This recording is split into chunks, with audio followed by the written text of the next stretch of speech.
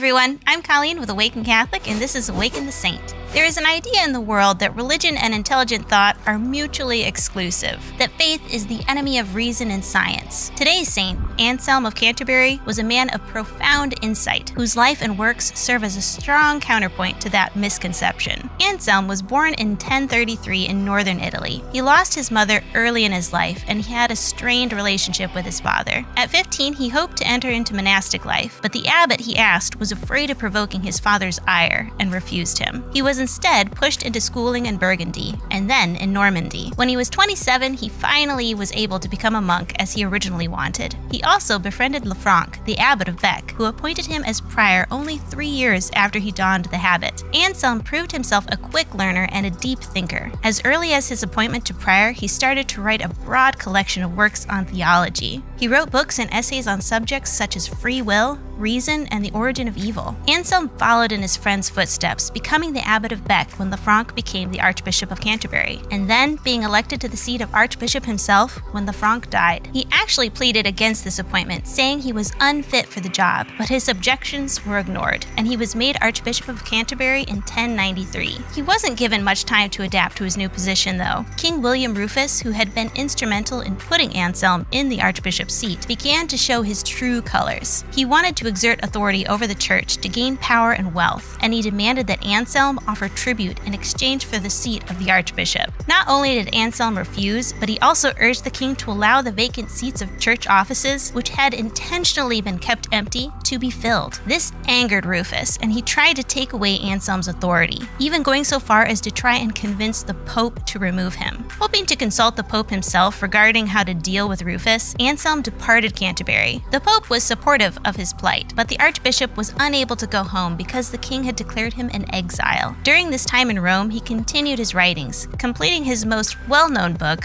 Cur Deus Homo, also known as Why God Became a Man, which discusses the reasons for the incarnation. Anselm remained in exile until Rufus died in 1100 and was replaced by Henry I. At the start, Henry was just as uncooperative as Rufus, insisting that he be paid tribute, but the archbishop eventually won him over. By 1108, the king trusted Anselm enough to ask him to serve as regent during his absence from court. However, Anselm's health began to fail and he died the very next year. He was canonized in 1490 and named a doctor of the church in 1720. Anselm was not content with blind faith. He spent a large part of his life exploring the reasons why he believed in God. Like him, we are called to not just be men and women of faith, but also people of sense and intelligence, always seeking answers to life's most important questions. St. Anselm of Canterbury, pray for us.